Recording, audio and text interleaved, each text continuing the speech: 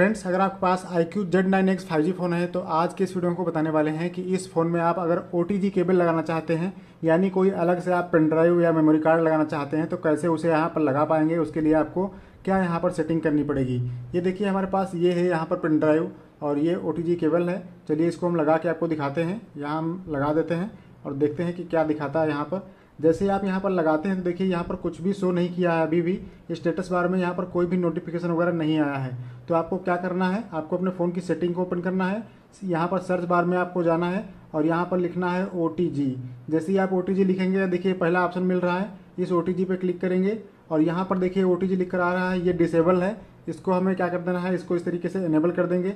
जैसे ही आप यहाँ पर इनेबल करेंगे तो ऊपर देखिए सर्च बार में यहाँ स्टेटस बार में देखिए आपको यहाँ पर ओ केबल शो होने लगा है। तो चलिए आपको दिखाते हैं यहाँ पर। जैसे आप इस तरीके से स्क्रॉल करेंगे, यहाँ पर देखिए ये लिख कर आ चुका है। अब इसको आप फाइल्स पे गूगल से किसी भी से ओपन कर सकते हैं। जैसे आप ओपन करेंगे तो सारे फोल्डर आपको यहाँ पर दिखाई देंगे। जिस फोल्डर में आपका जो भी यहाँ पर फ़ोटो वीडियो होगा, सब कुछ आपको मिल जाएगा। तो इस तरीके से आप कर पाएँगे। जब वीडियो हेल्पफुल लगा तो वीडियो को लाइक कर दीजिए चैनल पर कर लीजिएगा।